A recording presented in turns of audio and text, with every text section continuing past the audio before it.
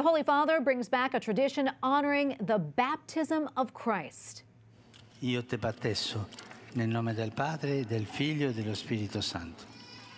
At a Mass yesterday in the Sistine Chapel, the Holy Father baptized 16 babies. Pope St. John Paul II began the tradition back in 1981. Last year, it was canceled because of the coronavirus pandemic.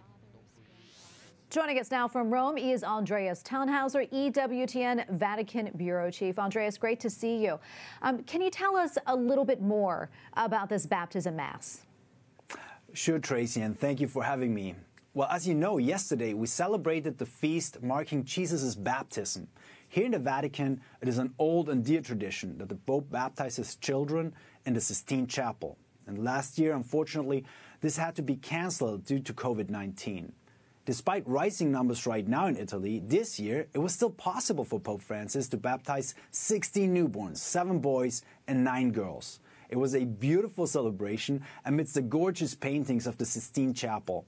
And in his brief homily, Pope Francis reminded us that the infants received their Christian identity through the sacrament of baptism. He also highlighted the role of parents and godparents. They're all called to support the baptized in deepening and preserving their Christian identity. And I also understand this morning that Pope Francis met with the members of the diplomatic corps to the Holy See. Uh, what more can you tell us about that? Sure. This is another famous tradition, the Holy Father's address to the ambassadors to the Holy See.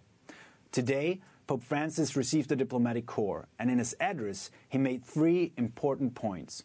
First, he spoke about the current corona crisis and called for the availability of vaccines across the world, especially in the developing countries.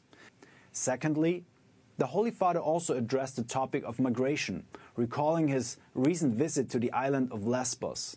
In general, he asked all countries to be more welcoming to people looking for a new life. Speaking about the refugees he met, he reminded us that we cannot be indifferent or hide behind walls and barbed wires under the pretext of defending security or a certain style of life. Thirdly, Pope Francis encouraged new international efforts to ensure global peace. A particular goal is to rid the world of nuclear arms, he said that in the 21st century, nuclear arms are an inadequate and inappropriate means of responding to security threats, and that possession of them is ultimately immoral. And also talking about the diplomatic corps at the Vatican, Andreas, uh, can you share with us some numbers and details? Of course, Tracy. Um, right now, there are 183 states that currently maintain diplomatic relations with the Holy See. In addition, there are the European Union and the Order of Malta. And we have 89 ambassadors to the Holy See right now residing in Rome. One of the more recently established embassies, for example, is the one of Palestine, which opened its doors on June 26 in 2015. It will soon be joined by the Swiss and the Azerbaijani embassy to the Holy See. At the same time, there are 13 nations with which the Holy See does not have full diplomatic relations. And standing out in this list is, for example, Afghanistan. There hasn't been even a functioning church since the return of the Taliban. But Tracy, to end on a more positive note, in his meeting with the diplomats, the Pope today stressed the importance of dialogue and diplomacy by quoting the prophet Jeremiah.